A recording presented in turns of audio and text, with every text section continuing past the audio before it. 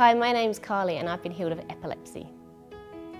Well, I was diagnosed with epilepsy when I was 17 and I started by having um, seizures here and there until they got to the point where they were several times a day. And at that point, I'd hidden it from my family long enough and I needed to go to the doctors. So I went and saw my, my local practitioner and I remember really clearly just sitting down in, in, his, in his office and explaining to him what went on with me, that every now and again I just have a, I just collapse on the floor and, and wake up hours later and, and not really know what was happening. And he, he sent me for tests and he had this really grave look about him. And I said to him, this is just a phase, right? I'm going to grow out of it.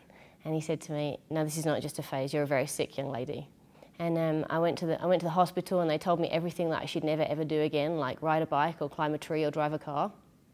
And it wasn't a blessing, you know, it, it was just, it was something that, that terrified me. They, they, they told me what was wrong with me, but they didn't really teach me how to live with it. They gave me a bunch of medications and sent me on my way. But it didn't get better, it got worse. Until eventually um, it was so bad, I'd, i was having so many seizures and the medication couldn't, couldn't control it. I would wake up um, in the supermarket, on the floor, in the hospital, in ICU, um, just fall down the stairs. Um, you know, I just, I just, my life was incapacitated.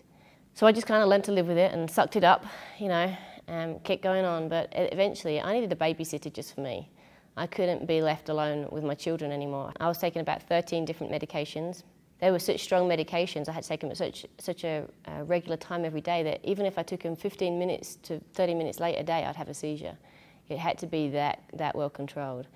And even then, um, with the medication, the seizures weren't wholly ever controlled.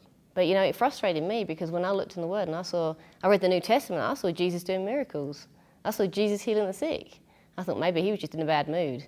Maybe I, I wasn't, I wasn't in favour or something. One day I went to a Bible study and it was my friend's Bible study. She was part of a different church. And I noticed there was something different about those group of ladies their relationship with Jesus was life giving, and I wanted what they had.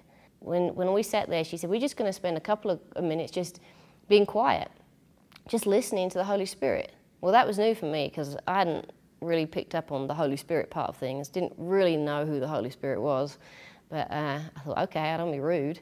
So everyone in the room shut their eyes, and I kind of looked around, you know, and I kind of peeked out to see if anyone else had their eyes open. And on the inside of me, when I got real quiet, I just, I just heard the Lord. I didn't know it was the Lord immediately, but I heard this, this, this voice on the inside of me, and I knew it wasn't coming from me. And it said, Carly, you know, this epilepsy, you, you haven't ever let me in on it. You can be healed from this in two weeks' time if you choose to be. He said to me, you know, it's just like a, a switch. You can, you can flick it off. You just, you just turn epilepsy off when you're ready to. I thought, wow, that's pretty huge. And then that scripture from Deuteronomy came to me, and it was just like, I've set before you life and death. Choose life. It's like the God of the universe has put the power in my hands to choose life over something that's controlled me all these years. Man, that just, that just blew me away. I was like, I can't tell anyone. They just, they're going to think I'm, I'm loopy. So I kept it to myself. That period of two weeks, the Lord just showed me. He showed me in the Word, He showed me in my heart, He showed me in my dreams how much that epilepsy had become part of me and that my life had just adapted around being sick. He just started to show me what it would be like to be well. What would it be like to, to get up in the morning and not have to be ruled by doctor's appointments and drugs and, and safe areas and, you know, and managing a disease? What would it be like? And, and so over that period of two weeks, the Lord just changed my heart. He showed me that I was special because I was His child and that He had plans and purposes for my life that I couldn't achieve if I was sick. So I said, you know, if, if I go back to this Bible study, having not told anything what the Lord's been showing me over these last couple of weeks, and my friend um, offers to pray for me, I'm going to know it's you, God. I'm going to know it's you.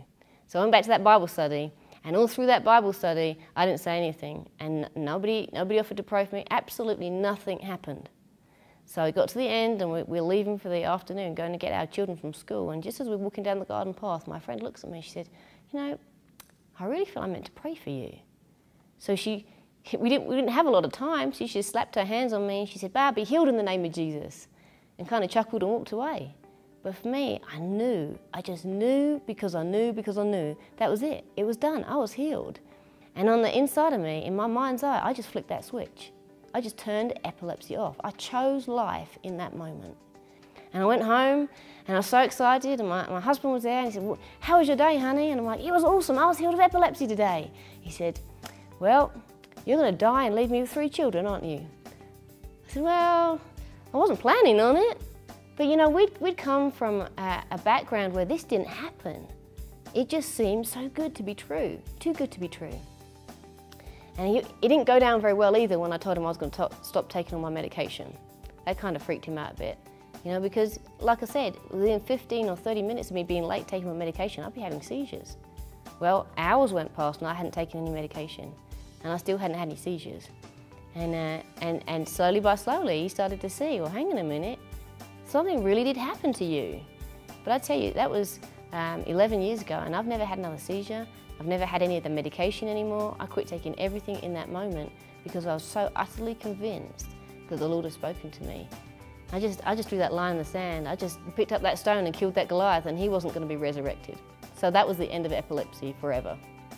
You know, one thing that was really instrumental in me receiving my healing was coming to the understanding that healing wasn't, uh, that, that, that sickness wasn't good. I had to come to understand that sickness wasn't a good thing, that healing was God's will for my life. And to, and to start to imagine what it would be like to, to not live with sickness, but to wake up every day and walk in the divine health and healing that God had for me all along.